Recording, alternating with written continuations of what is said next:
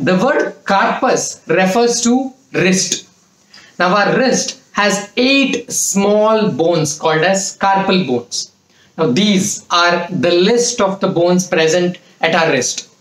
And then there is a fibrous band covering over this carpal bones with its attachment on one side on the pisiform and hamate and on the other side on the scaphoid and trapezium. So now as you can see it, there are these set of carpal bones underneath and this fibrous band. This fibrous band is called as flexor retinaculum. So there is this flexor retinaculum arching over this carpal bones. So effectively this forms a tunnel like structure. That is why this is called as carpal tunnel.